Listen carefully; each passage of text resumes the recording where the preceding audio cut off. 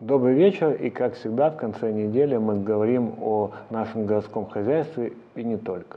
На этой неделе, мы все знаем, было, э, был снят ряд карантинных ограничений, э, в том числе и по общественному транспорту. Мы полностью отменили в Одессе специальный режим и вернули общественный транспорт в нормальный режим от работы. Но ряд ограничений все же остался.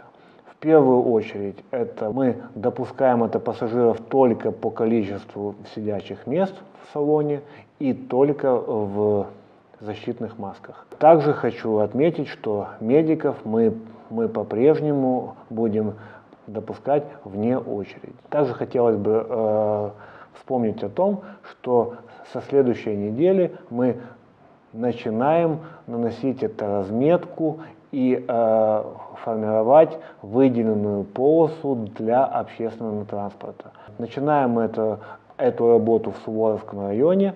Выделенные полосы сделают эту работу нашего ну, транспорта намного качественней, э, и услуга станет намного лучше. Опыт улицы Ришельевской э, нам э, это доказал.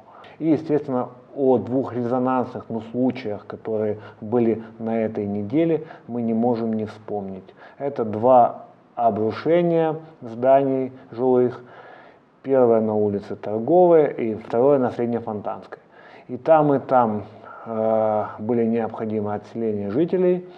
И там, и там, естественно, мы это получим э, технические заключения специалистов, но уже до этого хотелось бы отметить, что э, в обоих ну, случаях мы наблюдаем то, что рядом уже были построены новые дома, либо активно велись это работы по застройке.